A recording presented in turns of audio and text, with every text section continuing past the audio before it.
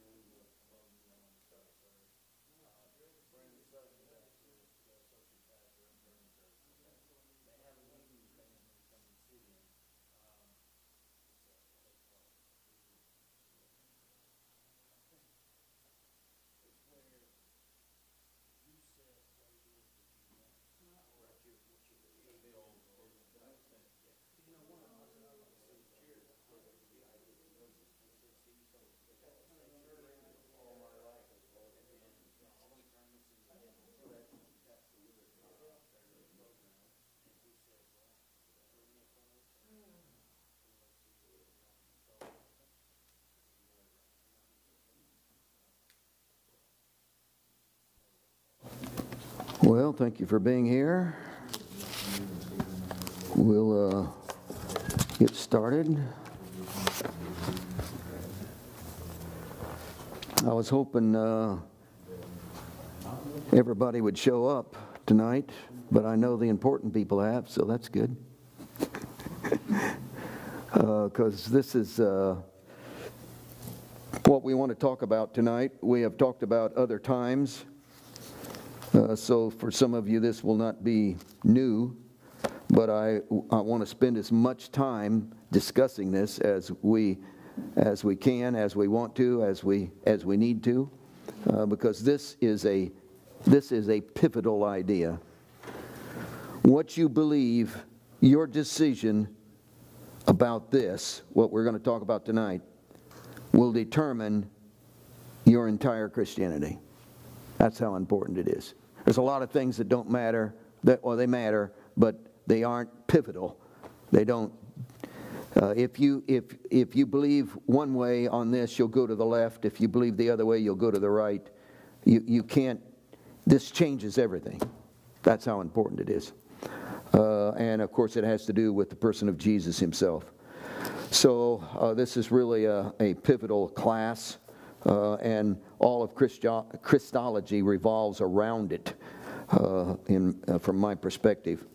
And of course, I'm, uh, I'm really wanting to know what the Bible has to say about it, so we're going to be looking at a variety of scriptures, probably, and depending on how it goes. So, I want you to feel free tonight to discuss, question, um, raise issues. Uh, and uh, also would say before we get started that um, this is not uh, a, a topic or a subject where you will master at the material and say, oh, I understand it all now. Because there's always questions. There's always, this is bigger than we are. So it's beyond, but that doesn't, because we can't understand everything, doesn't mean we can't understand something. Uh, so, grasping what we can grasp, understanding what we can understand, becomes really important. And there is a trust element that goes on uh, in the rest of uh, the concept. So, let's start with prayer. Lord, uh, again tonight we, we come just seeking you. We're not, uh, we haven't come to pound some kind of a theological concept or idea. We've come simply to uh, embrace you. And we want to know who we're embracing. We want to know what you're all about. Uh, we want to know more than what we do know. So we pray that you would bring revelation, you would open up our eyes, and Lord, uh, keep me, us, but me, from um, making things up, from uh, going, adding to. Uh, keep me focused in the scriptures and what you're saying to us. So we give ourselves to you tonight in the name of Jesus. Amen. Okay, in Matthew chapter 1, uh, by the way, this is the fifth class, and we may take more than uh, one class. We may take two or three classes on this idea because this is really uh, pivotal. Uh, but we've been talking about uh, the uh, who Jesus is and of course, Matthew's whole approach is kingship, that Jesus is the king.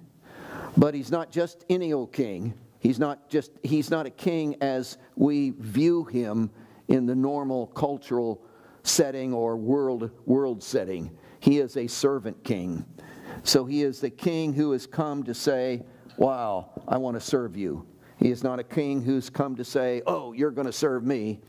And the Jesus who's come has opened up his arms and said, Let me enhance you, let me serve you. This is all about how I can redeem you, how I can make you adequate and, and uh, uh, fulfill the destiny for which I have uh, selected and called you.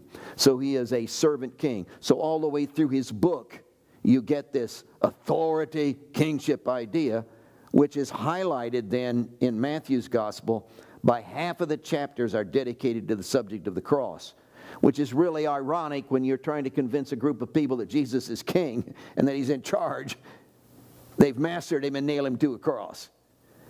But as Matthew develops it, and this is so significant as you get into the passages, he just over and over again shows you how they weren't in charge of this. Jesus himself, through the Spirit of God, somehow brought this to pass. Uh, so this was his plan all along and he is a servant king who's come to serve you. And the washing the feet, see, all the stories of the Matthew just come back to this. I want to pour my life out for you. His how he was born, the stable, the shepherd thing, which is in Luke, not Matthew, but the shepherd, uh, the uh, the stable thing, and all, all his birth process, and and the dilemma, and and everything that's going on in in the in the lifestyle of Jesus brings you back to this this concept. And of course, we've been talking about how this was a plan, so it was an old, old thing. He's been planning on this for a long, long, long time. And so we're constantly running, running into this prophecy idea that he constantly presents that somebody 700 years before this even happened was telling about this. So God has been after this plan. Uh, so this is not recent, not a whim, not just happening. This is an old, old plan. Uh, so we've been discussing all of that. Now, a lot of this spills out of the genealogy, which comes in, uh, in, Gen- or, uh, in Matthew chapter 1. Uh, and the genealogy, which begins at verse 2 and goes down through verse 17, and verse 17 is a summary of the genealogy itself. So he begins with Abraham begot Isaac, Isaac begot Jacob, verse 2. Jacob begot Judah and his brothers. Then he ends in verse 16, and Jacob begot Joseph, the husband of Mary, of whom was born Jesus, who is called Christ. Now, if you, had, if you were a, uh, a Jew and you were reading this, uh, which of course was written in the Greek, if you were reading this, you would come up at verse 16 and be startled. It would shock you. Doesn't shock us, but it would, it would shock you. Uh, because you would see a genealogy is to start and conclude, and when you conclude, you say, Oh, I get it. In other words, it comes to conclusion. But he brings you to the end of the, of the genealogy of Jesus and leaves you dangling so that you go away with questions, uh, which is not, again, and we talked to you, I think last week, we ended up last week with that this genealogy is in reverse of all the genealogies of the Old Testament, which is a significant fact. Uh, and maybe we need to go over that again a little bit. Uh, all the genealogies in the Old Testament start with the uh, forefather and they give his descendants. So here's the big shot, and then he got this kid and that kid and that kid and that kid, and here all the descendants. And this descendant down here, clear down here, says, Oh, I'm important. I have significance, and this was really important for the Jews. I have significance. Why? Because of my forefather. For instance, uh, Abraham. All right. Uh, I and the Jews were always pulling us on Jesus. They were always saying, "Well, we're children of Abraham. We have significance. We matter. We're important." And then, as Abraham and the twelve tribes were set up, each tribe they could trace their genealogy back to their forefather of their tribe. And this was so important to the Jews that any Jew of Jesus' day had memorized his genealogy so he could whip it off because it gave him uh, identity. It, it told him who he was. Uh, it told him uh, where he fit into the whole scheme of God's plan. So it started with the forefather and came to the descendants. All the genealogies of the Old Testament are that way. Now, when you come to this genealogy that he gives us in, Ma- in Matthew chapter 1, you have you do not you start this is a genealogy of jesus and you do not have a list uh, uh, jesus is not the forefather. What you have is a list of uh, ancestors. Because jesus in the genealogy doesn't show up till down here so it's reversed. Does this make sense to you? So it starts, these start with the forefather and give it a list of descendants. This starts with Jesus and gives a list of ancestors. So here's Abraham, for instance. He starts out in verse 2 with the Abraham thing. Uh, well, why do we talk about Abraham? Well, the reason Abraham is so important is because of this Jesus. See, you always derived your, your, your significance from your forefather. Jesus does not derive his significance from Abraham. The reason we talk about Abraham is because of Jesus. So this whole genealogy is reversed. So all of these guys, 42 generations of them uh, that are listed in the genealogy, all have sense and meaning and are in this passage because of the person of Jesus, who is their descendant. So it's a reversal. Now, what does that tell you? That tells you that your significance, your value, who you are, Your importance, your significance is found in not your forefathers, but it found in Jesus. And Jesus is the pivotal issue of the histories. And all the histories revolve around the person of Jesus. And of course, in a secular sense, you can prove that by the sense that our time is divided between before Christ and after Christ. See, everything builds up to him, everything spills out of him. He is the pinnacle peak of all time. So, Matthew is giving this, this genealogy, which again is reversed, and we went over that last week. Now, he comes to the climax in verse 16, gives this 42 generations, and he says, Jacob begot Joseph. So you got Jacob, who would be the grandpa, begot this kid by the name of Joseph. And Joseph had this wife by the name of Mary, and from them came this kid by the name of Jesus. So that's what he's telling you in verse 16. Now, uh, let's read it again. Jacob begot Joseph, the husband of Mary, of whom was born Jesus, who is called the Christ. So, Jacob, Joseph, Mary, and Jesus. Now, here's the problem with the verse. Uh, the, the problem with the verse is in the word of whom. Jacob begot Joseph, the husband of Mary, of whom? So you got this word of whom, and that's no problem in the Greek, but it is a problem in the English, because of whom can be both feminine or masculine, which means you can say there's uh, this could be whom, who, uh, uh, there's uh, Sarah is uh, is uh, is how would you say it? Sarah ran down the hallway. Uh, what would be a statement? I'm sorry. Uh, Sarah, who is running down the hallway, referring to a woman. Or you could say Sam, who ran down the hallway. So, who in English language can be either one, feminine or masculine. So when you read this, Jacob begot Joseph, who was married to Mary, of whom was born. Well, is he, who's he referring to? Who does the of whom refer to?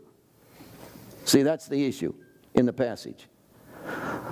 Now, in English, it could refer to Joseph, which would make sense, Jake, because this is a masculine uh, uh, genealogy anyway. So Jacob begot Joseph, of whom was born Jesus. Ah, so his dad was Joseph. Got that settled.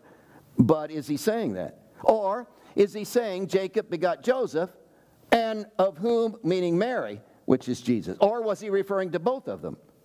Well, the, the issue is settled in the Greek language because in the, uh, in the Greek language, this is feminine. The Greek word for whom is feminine, which means he just sliced Joseph clear out of the picture and refers to Mary. So what he said is Jacob begot Joseph, who was married to Mary, of whom was Jesus was born. So Joseph didn't have anything to do with it. So he comes right up to this genealogy after 42 generations of this thing and leaves you dangling. And you walk away from the genealogy saying, Well, who was the dad of Jesus? If it wasn't Joseph, who on earth is it? Where are we going with this? You didn't answer my question. What's the deal here? the genealogy is all messed up. It's reversed and it doesn't answer the question.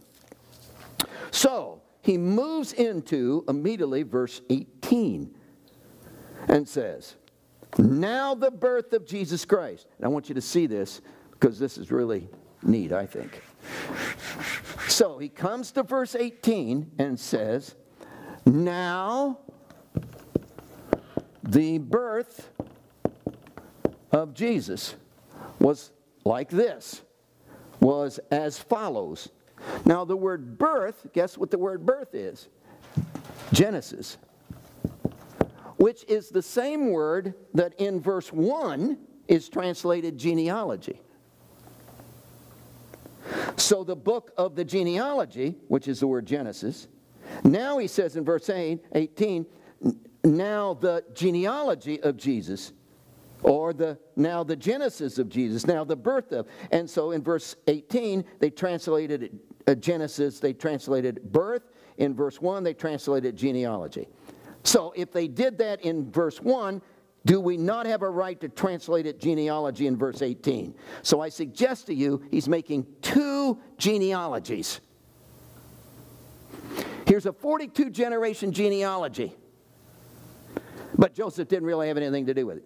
So he moves into verse 18 and says, Now let me give you the natural father genealogy. That was the adoptive father. Let me give you the natural father, uh, the real genealogy, the down to it. It won't take 42 generations. Jesus was, the birth of the genealogy of Jesus Christ was as follows. After his mother Mary was betrothed to Joseph, before they came together, she was found with child of the Holy Spirit. So he was born of God.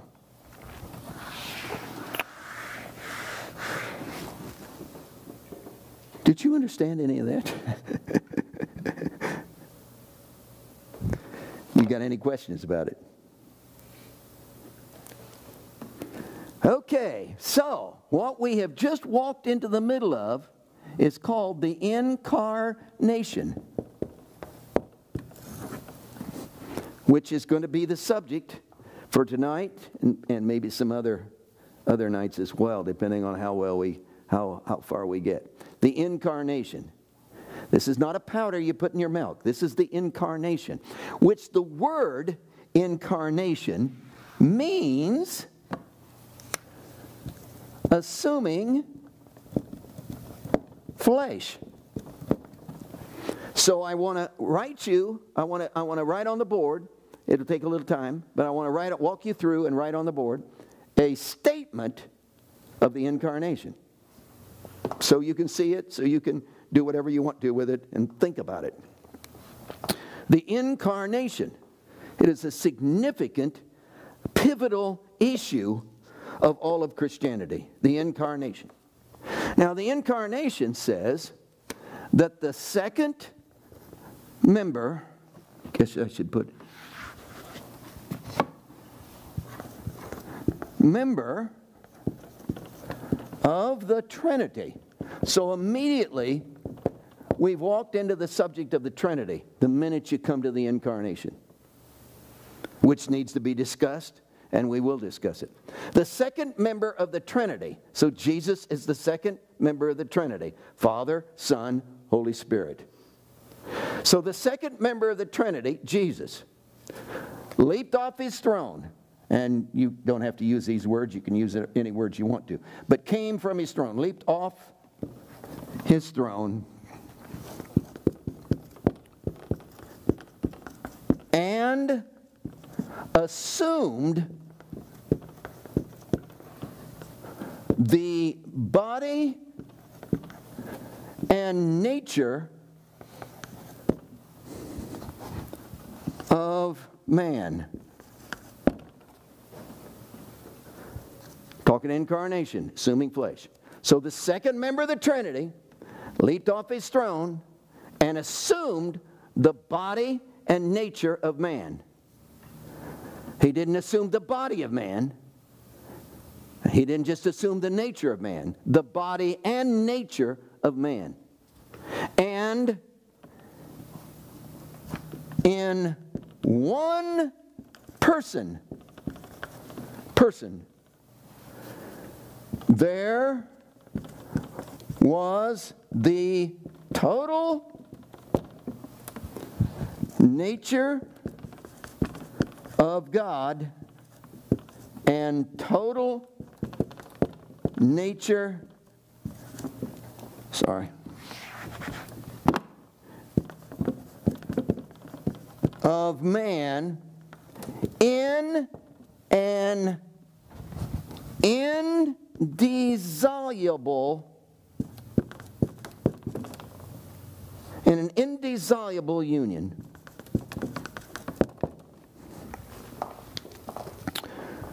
Now, I know those are a lot of words, and uh, I'm not sure I've spelled indissoluble right. Has two S's. ISS. Okay, the second member of the Trinity, which brings us into the subject of the Trinity, leaped off his throne and assumed the body and nature of man. And in one person, there was the total nature of God and the total nature of man in an indissoluble union. And this one person is called Jesus.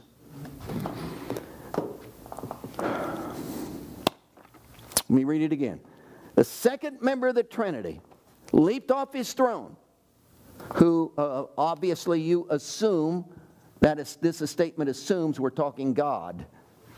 So Jesus is God. The second member of the Trinity leaps off his throne and assumes the body and nature of man. And in one person, there was the total nature of God and the total nature of man in an indissoluble union. Now, there are some ramifications of this that are just, whew, overwhelming. For instance, you might say, well, what do you mean? Uh, what do you mean the total nature of God and the total nature of man in an indissoluble union? How do you describe that? Well, probably we can't. We probably don't know the depth of that. But what that means is that there's the total nature of God and the total nature of man in one person. Which means, and it's an indissoluble union, which means you cannot dissolve it.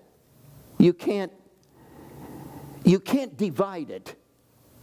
You can't he doesn't flip in and flip out. He isn't sometimes and not other times. In other words, you can't come to Jesus and say, "Oh, from his waist up, he's God. From his waist down, he's man.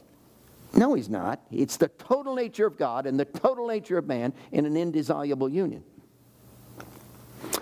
Uh, you can't say that well, when he was walking on the water, whoo, that was his God stuff took over. his God nature took over. But uh, oh my, when he's dying on a cross, that's his man stuff. Or when he's weeping at the grave of Lazarus, that's his man. That his manhood came. See, flipped. You can't say that. This is the total nature of God and the total nature of man brought together in one person in an indissoluble union, and you cannot divide it. And it is so undividable, and this, this is so, so, such a key to what we've, what we've discussed all the time in Christianity. It is so un, undissolvable that you, you, you, you, you can't locate it. You can't go to Jesus and say, oh, there's his godhood right there. You can't go to Jesus, oh, there's his manhood, because they are so mixed up together that you can't separate them. Which people, that's what we've been trying to explain to you guys about the merger. See, I, nobody's proposing that, I, that, that a human being ever becomes God. No. But can you imagine a helpless individual literally being filled with an, a, a, a man, literally filled with the nature of God in a, in a mystical union where a new creature is created? Where is the manhood? Where is the God nature? Where does, where does God act? Where does man act? A guy stands up and preaches, is it God or is it man? I, I help an old lady across the street, is it God or man? See, how do you divide that? So suddenly your life becomes an expression of this union, which is always Him. No, it's always you. Well, it's us.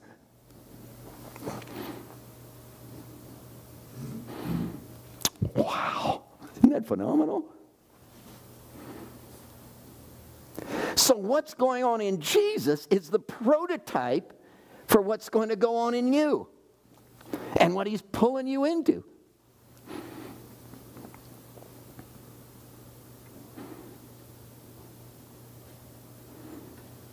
Need a microphone.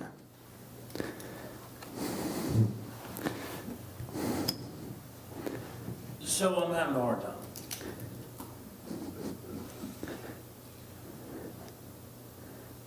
if you had, where does the, so as this merger happens, you're, you're a new creature every, every step that you take with Jesus. I understand that. But when you me, let me speak for me. Can't speak for you. But for me, I, I still have those fleshly, you know, the, the fleshly desires are there, the fleshly thoughts are there. And I, I You think Jesus didn't have them? you gotta wonder. Well, yeah. Well, it, then if he didn't have them, that's the whole point. He then he didn't have the total nature of man. Well, that question come up. So it, it come up with, See why this is so pivotal? yeah, it's hard to understand. Well, it is. But what you decide about this, and I'm going to let you continue, but what you decide about this is going to determine your whole view of Christianity. And if you decide, yes, Jesus what, did have the total nature of man and does experience all the desires I have and all the flesh that I battle, and yet he was filled with the nature of God, and this new creature had victory in the middle of that then that determines my whole view of what, what is expected out of my life. If you decide, nah, he wasn't, he really didn't have the whole nature of man, he had an edge on us, then you go in another direction. I don't feel like he had an edge on us, I, I believe that he had the total nature of man. The, where I have a hard time comprehending is, is that the, the alignment being perfect, does that make sense? The alignment of Christ inside of your, the total, total sanctification is a proper terminology in this, in this, I guess you would say, because me looking at me as a saint is a, I, just, my mind don't wrap around that. Mine, mine either. no, mine either. You know, I don't, I don't know how to, maybe it's a shift in my mind, I don't, I don't, that's what I'm trying to understand, I'm trying to, I'm trying to seek how to, how to take that and fully apply that in the proper application, I guess that would be the way to say it. Okay, let's, let's, uh, I don't know uh, this will help or not, probably not, but let's say, let's say you, uh, Luther went through that. Luther, uh, Martin Luther, he, not, not Martin Luther King, the old Martin Luther. He had a uh, whole list of stuff, and that he, and every day he checked it off. Oop, I failed there. Oop, I failed there. Every day failed. Couldn't keep the list failed every day. So one day, can you believe it? One day, he kept the entire list. And he said, Whoa! And then suddenly it dawned on him I just committed the greatest of all sins pride. So, isn't the secret of the nature of man is I'm helpless? So I never feel like, oh, I've made it. I never feel like, oh, I'm perfect. I never felt like, oh, I, I always have this helplessness feeling, which is the secret of the union, of the dependency. Because if you could arrive at a place where, hey, I've made it, I'm, I'm, I'm perfect, I got this down, I've mastered it, then you would, you, would, you would walk into the worst of all sins. So that's that, that the, the very thing that you think is, is the defeating point may be the very victory point of your life. That you, you feel like all the time, I'm just, man, I just, I, I, I need more. I'm, I, I, I need to be better. I want to stretch more.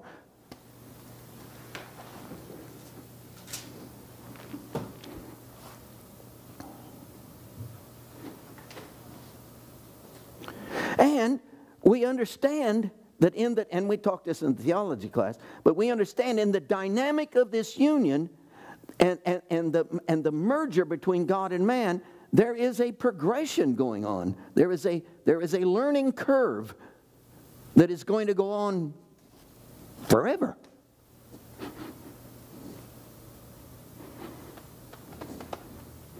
So the secret, and I had a long uh, hour and 15 minute conversation today with a guy over this very subject. Uh, the, the, the key to this all then is not focusing on uh, I've got this, I've got this, uh, I've got this difficulty, I've got this the temptation, and, and I got to have victory over this temptation, and I focus on, oh God, give me victory over this temptation. And I'm see, that's not the key. The key is to forget the temptation and focus on Him. If you read, where is it? Uh, I think it's First Peter. He says, "Submit yourself to God. Resist the devil, and he will flee from you." Now, we all have focused on the idea of resist the devil. We've all focused on that. But you know, when you focus on something, I'm going to, oh, here's the devil, I'm focusing on him. He's going to get you, man. Why? You're focusing on him. And the more I focus on him, the bigger he gets and the less victory I have. So I got to get off of the focus. See, the secret to the passage is submit yourself to God and that will bring a resistance to the devil. So my key is in focusing on Jesus. So, yeah, go ahead. Uh, Mike Miller asks, so the nature of man is helplessness. Could Stephen elaborate on a little more of the nature of man? Yeah, it's helplessness. It's, uh, and uh, it, again, if I cut you down the middle and go to the core of your existence, we're talking we're not talking about your skills. We're not talking about your talent. We're not talking about your good looks. We're, we're not talking about your, your brain and, and, and how educated you are. We're not talking that because all of those are band aids. We're talking about I slice you down the middle, I crawl down into the core of your existence. And what do I find there? Nothing. You have no resource. This thing is bigger than you are. And you have no resource to produce life as God intended you to have. You have no resource to do that. You were m- created by God to be dependent. Want to say something on this? Yeah, that may be the wording part, but when, when I think of nature, I think of something that comes natural. Hmm. And, and embracing my helplessness does not come natural. Uh, to me, you know, lust, gluttony, things of that nature, those come, in my mind, natural. So my first instinct is not embracing my helplessness. Okay, and in relationship to that, when we're talking here, the total nature of man, but see, we're not talking that Jesus embraced the total nature of man's lust, the total nature of man's. We're talking the nature of man. That's a parasite that's been added to the nature. And that's not the nature of man. But the nature of man is a helpless nature, and because man wouldn't, wouldn't depend, wouldn't be dependent upon God, there became a parasite that was added to this nature, which is not who man is. It's a twisted, it's a Looney Tune form. Yes, sir. Yeah, and just to add to that, he's known as the second Adam, right? He is Uh, yes. Born among this new kind of man. Yes. And he said, man cannot live by bread alone, by the flesh, right? But by Yes. every, Word that proceeds from the mouth of God. yeah. So he's the new nature of man. Yeah.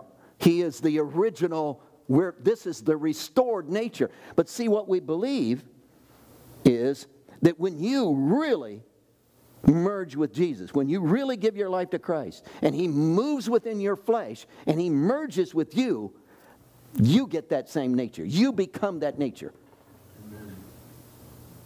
Now, there are things that hold on, but that's the progression, and, and we've discussed that.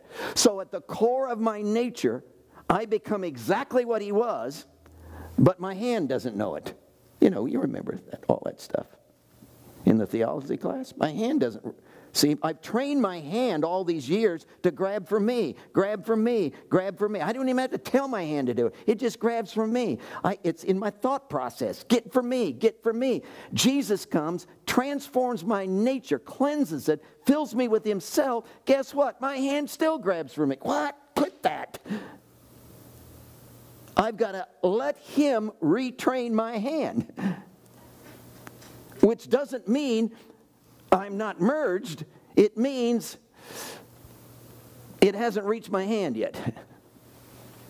And I'm in the process. So there is the process.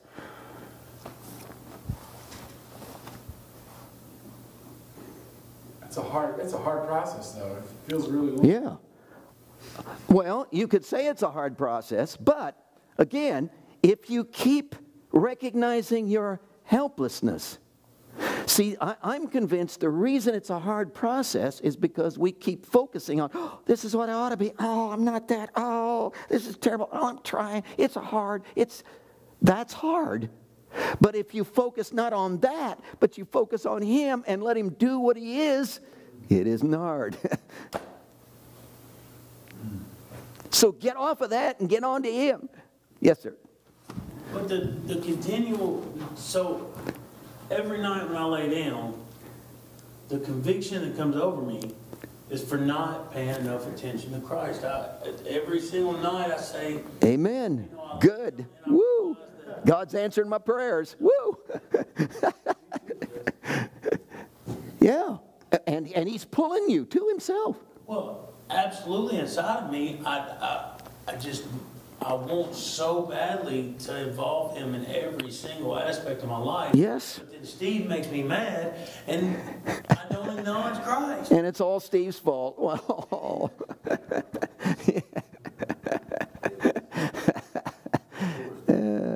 Well, so the simple an- there's a simple answer to that. And that was uh, C.T. Studd, the missionary, uh, that had the answer to that. He said, if, and again, and you've heard me say this, if, he, uh, if the pressure, well, I won't draw it, if the pressure, uh, here's the pressure coming at you, and here's Jesus on this side. If the pressure never gets between you and him, if you are here, he is here. If the pressure never gets here, if the pressure gets here, it'll, spread, it'll push you from him. See, you get distracted. But what if the pressure was always out here? The worse it got, the more it would shove you to him. Which is the secret. So bring it on, man. Bring it on because the worse it gets, the more temptation comes my life, the more I'm going to run to Him, the more I'm going to focus on Him, the more I'm going to go after Jesus. So it's a good thing. So let it work for you. which is what Jesus did.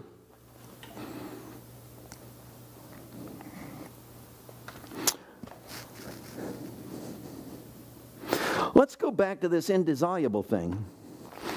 Uh, here stands a young lady, here stands a handsome young man, they get married, uh, and uh, they have this kid. The child is the indissoluble union.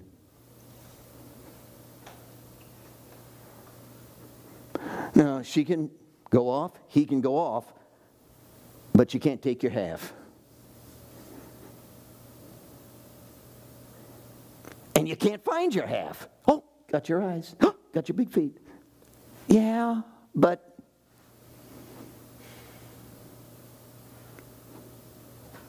See, this indissoluble is not the kind of where Jesus was half this and half this. He was all this and all that. Yes, sir. You mentioned earlier. You mentioned earlier how he was how he wept at Lazarus, right? So we can say that God weeps.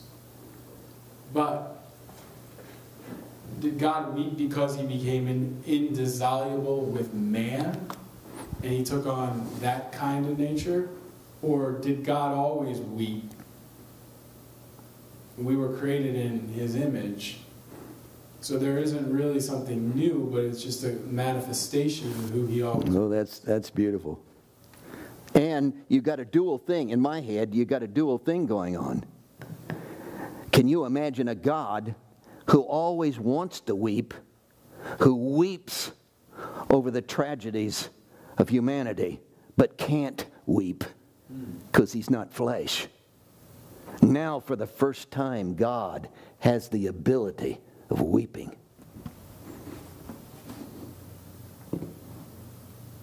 So we were created. Could there, see, in the creation scene, could this be something of the motivation? We've always said, well, God created man because he was lonely.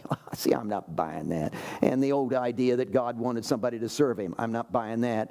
See, because he's the servant king. So I'm not buying that, and it certainly isn't he wants my money. What is the motivation for creation? Well, he wants sons, yeah? but sons are an expression of who I am. So God wants to express himself, and we become the platform of his expression,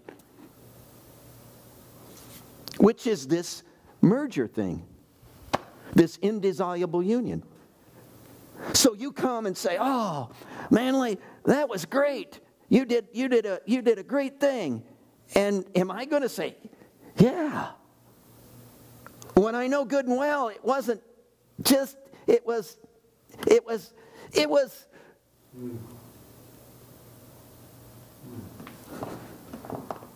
And was it him? Yeah. Was it me? Yeah. It was us.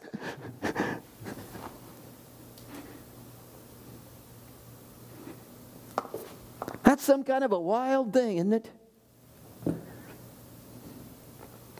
And do you, do you see how, how important that concept is?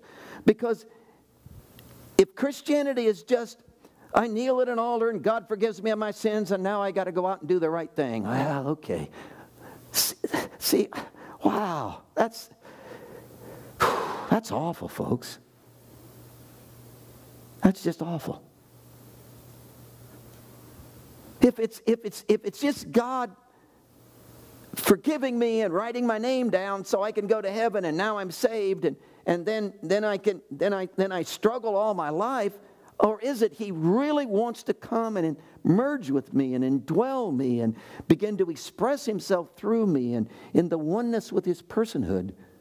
This, and Jesus is the prototype of this.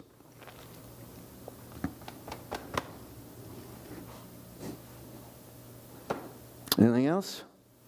Appreciate this. You've helped me think it through.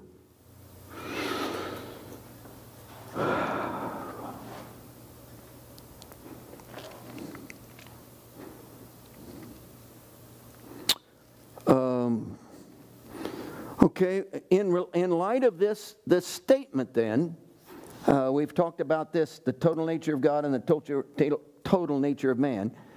Uh, it's not half and half. It's all of God and all of man contained in one person. In one, in one person. And Jesus was the indissoluble union. Again, you can't split it, you can't divide it, you can't find it. Uh, so it flows totally within, both flow totally within the personality of the individual. But you also have to understand uh, this first part of the statement the second member of the Trinity. And we need to talk about the Trinity if we're done talking about this. Anything else on this? Okay, let's go to the Trinity. Now, in the Old Testament, the Trinity, and by the way, the word Trinity is never found in the Scriptures. It's not a biblical term, it's a theological term. And some people have gotten bent out of shape about that and said since it isn't in the, the word the word isn't in the scriptures well in the first place it's an english word but regardless uh, everywhere you go in the old testament every time you read the word elohim which is translated god it's plural well what about the new testament not true in the new testament well why did they change it because it's the Greek language now. We've moved from Hebrew in the Old Testament, Elohim, which was always plural. We've moved to uh, Theos in the New Testament, which is Greek. And the Greeks had this concept. You, you know about the Greek mythology and Hercules and all of this stuff.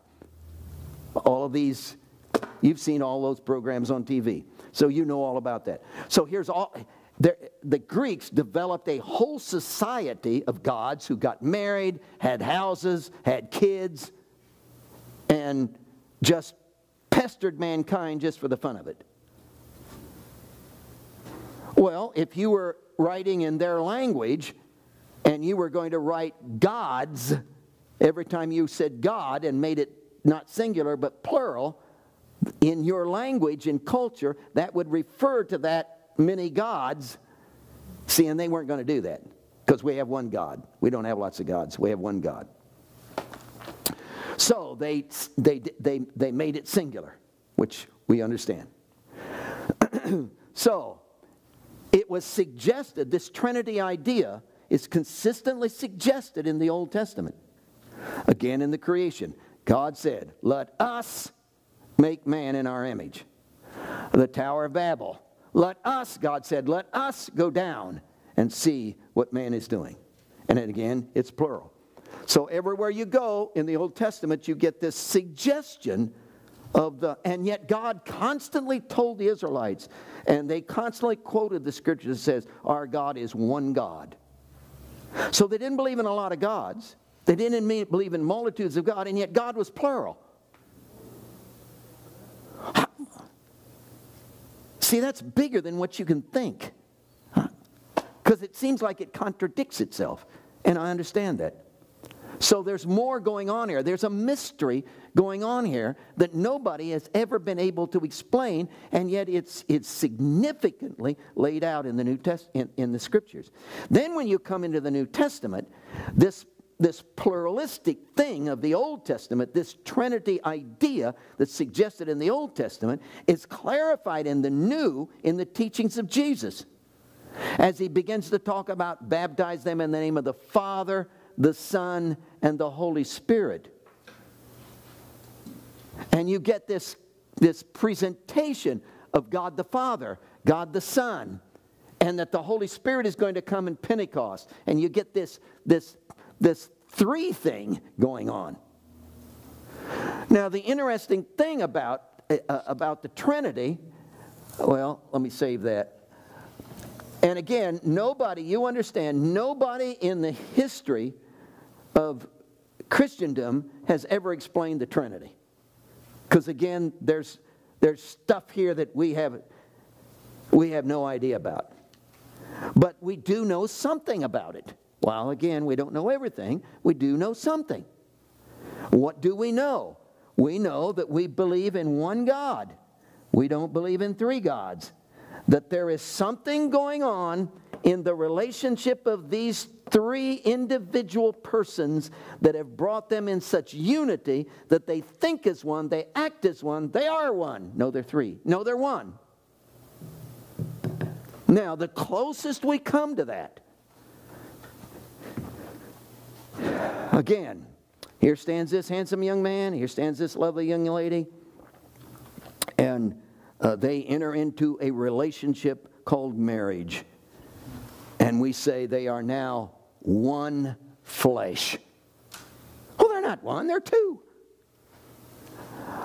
But marriage, in its finest, is an infiltration, a yielding of, a giving of yourself to the other to the point that something of you ceases to be and it is in them.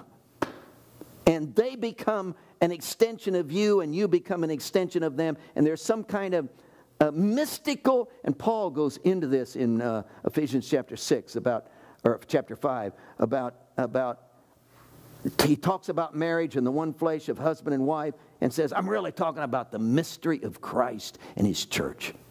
There's something going on here that's bigger than, than physical, and a oneness takes place. Now, I believe I believe that the scripture teaches that the thing that unites them is what we call cross style uh, or holiness or dying to yourself or the giving of yourself up or the embracing of your helplessness that that's what makes them one in other words, this member of the Trinity said, I'm not going to live for myself, I'm going to live for you. And he yields himself totally to these two. And this one yields totally to these two, and this one yields totally to these two. And each member of the Trinity has crucified, been crucified, has the nature of crucifixion, has the nature of non selfish, unselfishness. And in the yieldedness of themselves, in a in the act of crucifixion, they have literally become one. And they function as one, they think as one, they are one. Now, there's been lots of uh, attempts to explain the Trinity, like uh, I am a Trinity. Uh, I function as a preacher. I function as a husband. I function as a general goof off. And I do some things better than others. So here, but that's not this. That's not this. That's not a proper explanation. We're not talking about one person with three functions. We're talking about three distinct individual personhoods. We on track there? We're not talking about one person. We're talking about three distinct persons. Uh, he has a mind, he has a mind, he has a mind. He has a will, he has a will. He, he has emotions, he has emotions, he has emotions. Every member of the Trinity is a solid, complete person. So we're not talking about one person acting three roles. We're talking about three distinct personalities. Uh, some have tried to explain it like uh, you uh, liquid you drink, you freeze it, it's ice, you boil it, it's steam. So you got three manifestations of one. That's not this. I'm telling you, that's not this. That's not what we're dealing with. We're dealing with three distinct personalities. And these three di- distinct personalities are so united together that they have become one. So we don't believe in three gods. If you say we do, uh, we'll laugh you out of town. We believe in one God. Any, anything you want to say? Yes.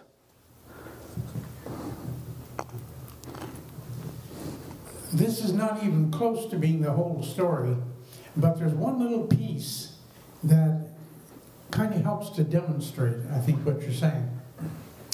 In the book The Shack, any of you have not read The Shack, please, please do so. It's the greatest book ever written other than Scripture. Do you agree with that? Well, that's, that's yeah, that, it, it's a good book. Problem with it, actually. Huh? We can, we can, we can talk about Okay, anyway, uh, be that may, that's not my point. There, there were three separate people, yeah, and they were the Father and the Son and the Holy Spirit, but they were shown Yeah. up as humans yeah, in this story. yeah. It's a, it's a beautiful display.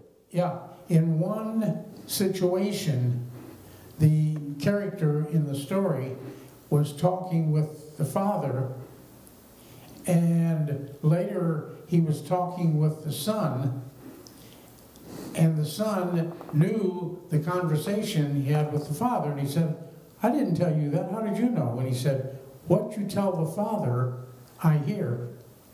Hmm. I think that it's, it's a tiny piece of the whole thing you're talking about. Yeah, But it's a, a piece that kind of demonstrates how can you do that? And Yeah. the answer is the Trinity. yeah. It's an amazing, I mean, it isn't something that you could sit down and say, let's dream, uh, let's dream something up. It's just, it, it's, it's remarkable. And this Trinity, anybody else, by the way? This Trinity, as revealed to us, and you understand this Trinity may be, who knows what, what our God is really capable of or is, is like. I mean, we know, I, I think we've hardly scratched the surface. But it's revealed to us in the scriptures. He is revealed to us in function. In other words, this member of the Trinity here is revealed to us as Father, which is a function, not a name. It bespeaks a role that he plays. And you understand that all the roles are depicted in redemption. In other words, why is he the Father? Because that's the role he he operates in, that's the role he plays in the plan of redemption. In other words, here's a Trinity God who decided, I'm going to redeem man, and immediately this member of the Trinity became the Father in that redemption plan. And we look at him, and he says, I want to be the one who runs the show. I want to be the one who sits on the throne. I want to be the one who controls Mars and Jupiter. I want to control gravity. I want to keep everything operating. I'll be the overseer. Well, that's the Father image So we look at him and say, "Oh, you're the Father." Now, what discourages me is that when in a, before a normal congregation, when I stand up and say God, they think of this guy. And I'm not talking about this guy only. I'm talking about these two also.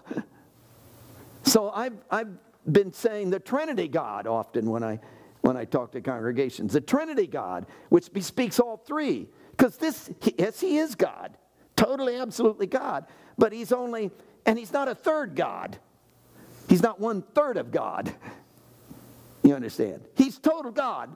But there are two other personalities. And again, they play a role. This member of the Trinity plays the role of spirit. I want to be the one that crawls down inside of people and, and just pesters the living daylights out of them and, and flow and makes them feel so bad they can't hardly stand it. And then, then bring forgiveness and, and release and peace. And, and oh, I want to administrate the whole, the whole movement of redemption in his life. Wow, okay, you're going to have to be a spirit to do that. Oh, you are. Since you're so holy, we'll call you Holy Spirit, which is a role he plays. It's not his name, it's, it bespeaks his function in redemption. And, and of course, this member of the Trinity said, I'm glad you left this for me. I want to be the one who goes down to earth and it literally becomes the man and pulls this all off. So we call him the son, but he's not a son. Like you're a son. See, that's Matthew's whole point, and Luke as well, that he wasn't, because again, there is no mother here. See, there is no, there is no sexual production here. See, this is way beyond that. This is this member of the Trinity taking, assuming the total, the nature of God and the total nature of man in one person. This is the this is the second member of the Trinity leaping off of his throne, assuming the body and nature of man. So, all of these terms that we are so familiar with are, are seen in. Now, can you. Uh, yes, sir. So when Jesus became man, did he, don't know how to explain this or say this. Um, when he became man, did he have to think like all three of them? Or act like all three of them? Hmm, I'm not sure what you're asking. Uh, what's that? can you clarify? Uh, Did he go from, did he go from man to, did, was he, was he God in the sense of still thinking, what it, Wayne describes the way I'm thinking what you're saying. So did he come down and automatically still know what the Trinity God was thinking? Or did he assume the, the role of a, of a man? yeah, well, we're going to get into that, but uh, let's, if you don't mind, I'd like to hold that right now, but that, that, that is significant, and we, we need to discuss that all the way through. Uh, we, we sure do. Um, and and maybe, maybe, it, it, maybe it is time to move into that, but uh, I, want, I want to give you this one more thought. Uh, think about this, okay? If this is Father, Son, and Holy Spirit, and this depicts roles that they are playing in their redemption plan. So the whole Bible, do you understand that the whole Bible is focused just on this redemptive plan? What else are these guys doing? We don't know. Do you, do you think they have other stuff going on? And they play roles in other places? See, you, you can't take this God of ours and limit him to this role. He's bigger than the role of Father, the role of Son. Knows what, what else is going on in there? Are you saying there could be like other worlds in the universe? I don't know. Why not? Wouldn't, wouldn't, wouldn't we be selfish and self centered to think we're the only ones that, that, he, that he didn't go someplace else and try this, uh, try this creating man and it worked? Who knows? Doesn't matter. Doesn't matter at all to me at this point. So I'm just saying this don't don't think that this is you can limit him to this. He's bigger than all that. That's that's the point. Whatever that means. We have no idea.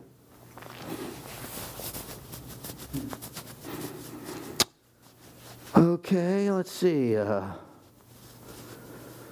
was there anything else in the Trinity idea?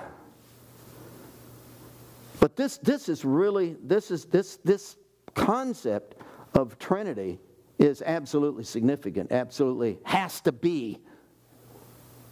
See, if you deny this, then I, I don't know where you go. And there are parts of Christianity that do deny this. There are people who don't believe that there is a Trinity. And, I, and again, this is a pivot, this whole concept of incarnation is a pivotal idea. So let's go back to your idea, Corey, your, your uh, question and idea. Okay, so this member of the Trinity leaps off of his throne and becomes man. And of course, the obvious, immediate question is what, what was that like? Now, one thing you've got to constantly guard against is ever in your mind, don't ever in your mind or ever in your talk indicate that Jesus at any time is not God. You just don't want to do that. In other words, don't say, well, yeah, he was God here, but now, oh, he's no longer God. Yes, he is. Because we're talking about the nature of God and the nature of man in an indissoluble union. So he's always God. When he walks on the water, he's God. When he dies on a cross, he's God. When he's raised from the dead, he's God. There's never a time. Jesus never gave up being God. Never. And that is so significant because if Jesus isn't God, then you know that this thing doesn't mean anything. Because lots of nice guys died, people but it didn't mean anything to me. The reason this means something is because Jesus is God. And this is the death of God. This is God giving his eternal life, laying it on the line. Uh, so, in your thought process and in, as you approach this, don't ever, and, and we do that a lot. I, I get that a lot. Somebody will say, uh, uh, well, God did, well, I mean Jesus, like Jesus isn't God. See, don't do that because Jesus is always God, and you have a right to refer to him as God. Okay, having said that, now he's become man. Now, just logically, none of you believe for one single minute that when Jesus popped out of his mother's womb, he knew the whole vocabulary of his language. None of you believe that. In fact, you can't go any place that anybody believes that. Because that's ridiculous.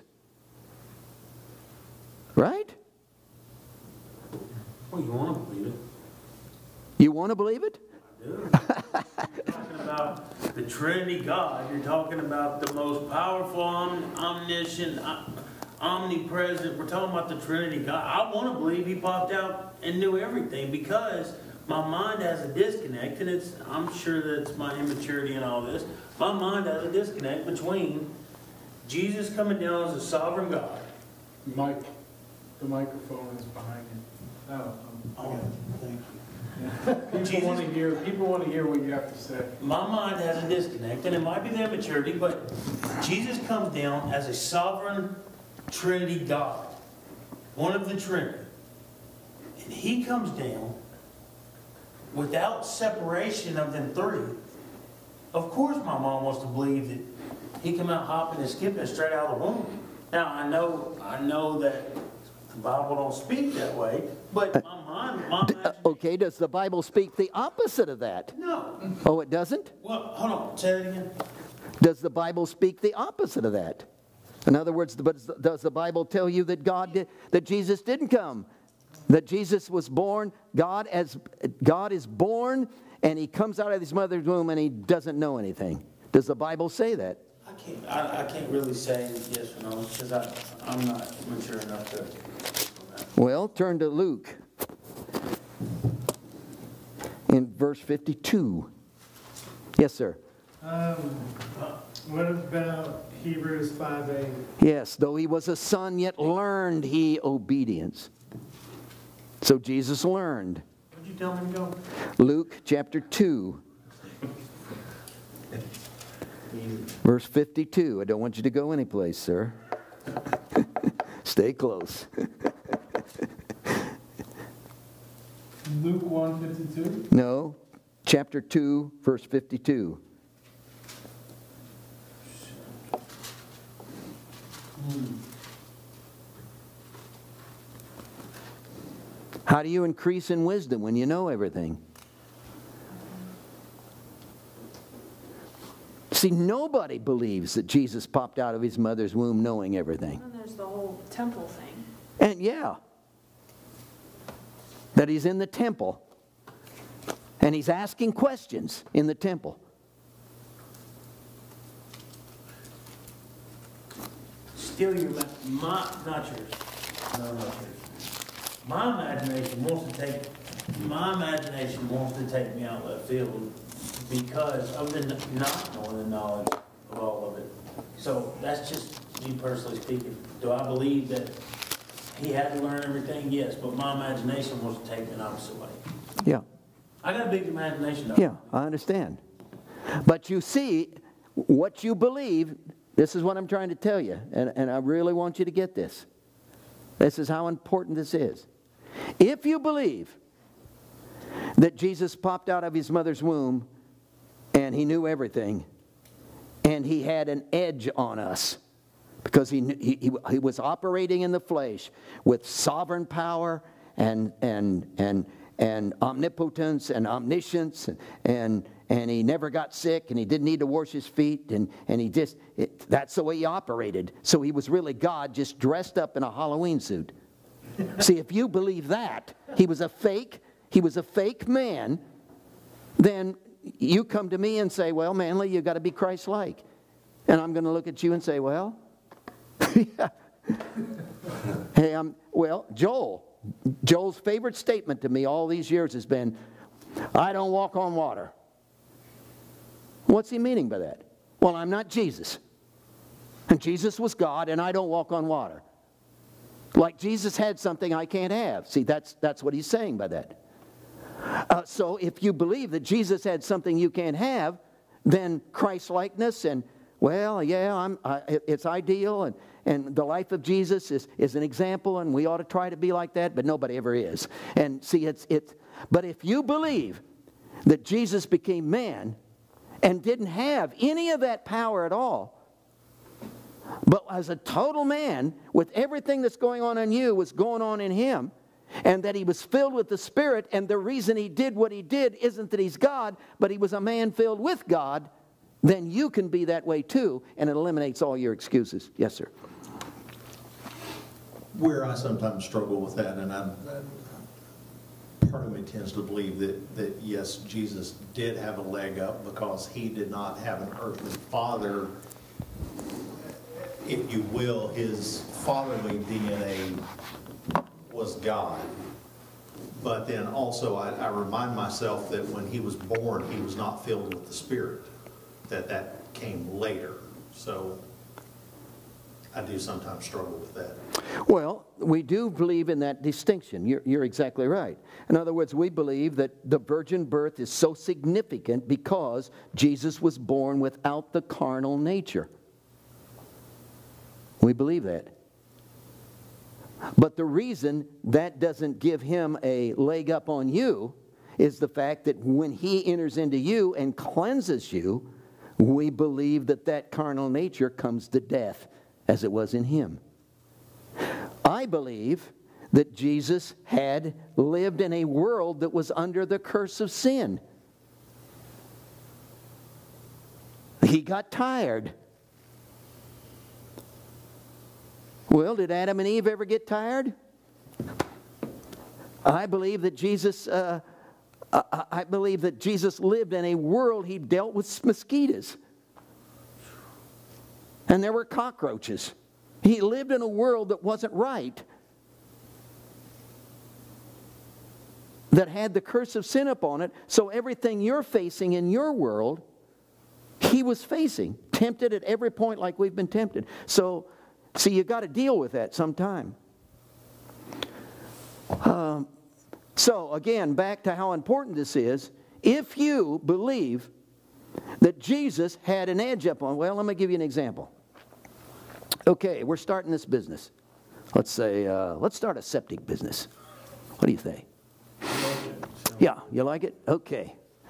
Uh, what, how are we going to do this? Well, we got to have, uh, we'll, uh, we'll uh, get some kind of a, a used uh, backhoe that somebody is throwing away. Okay, we got one now.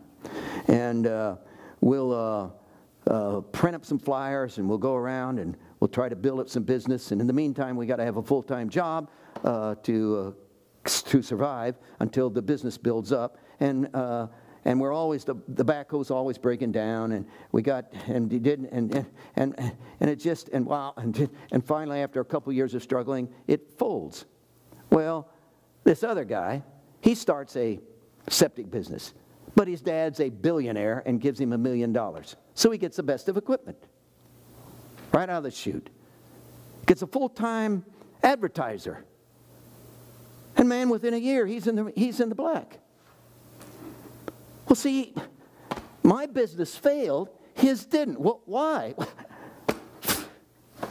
he had an edge on me. See, Jesus has got an edge on me.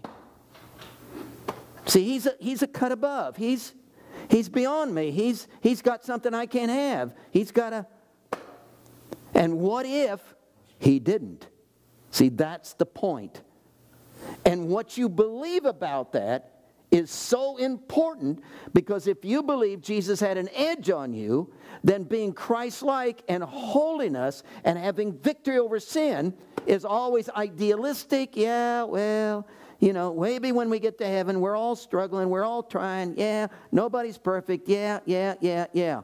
So you, you go that direction. But if you believe that Jesus was totally, absolutely man and had no edge on you and started his business out of the garage and had a broken down Mini X to, to start with, if you believe that, and yet he was successful, you got to say, wow,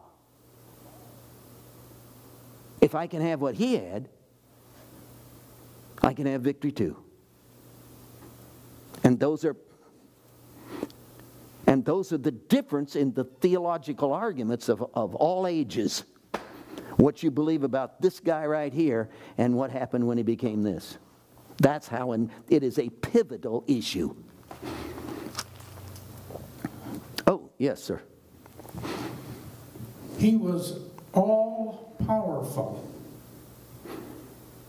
which means that he had the power to do what you and I can't do and that is eliminate himself, from himself all of his attributes. We can't do that, but he could as God. But when he did that, that's exactly what he did. Gave up all of his attributes. He's so powerful that he can do that, and did it. Okay. Uh, anything else?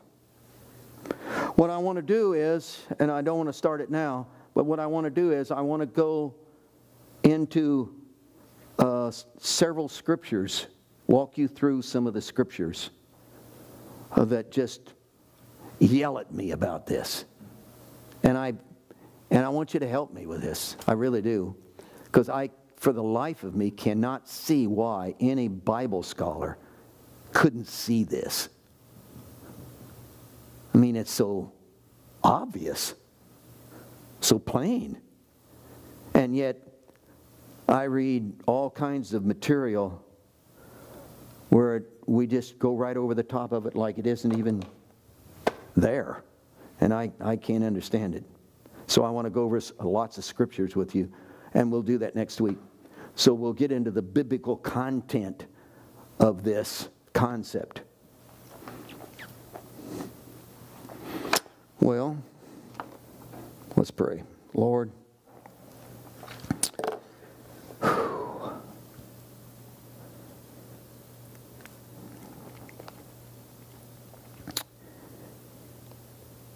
everything that went on in you, I want it to go on in me.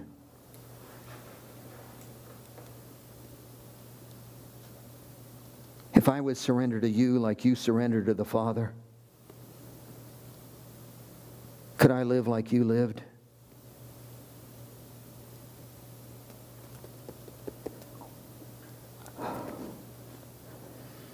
So um, I, I'm just I'm I'm I'm just going to go after you. I, I'm I'm going to focus on you, you and me in intimacy and oneness. I want to drag you into the middle of everything going on in my life. I want to refer to everything to you. I don't want anything happening in my living that you aren't in the middle of. I thank you for the possibility of this. I thank you for the revelation of your word that teaches it. And we, we give ourselves to you tonight for this purpose. So bless us through the rest of this week and into the weekend and our services on Sunday and the movement of God among us. We give ourselves to you for what you want to do. In Jesus' name, amen. Thank you.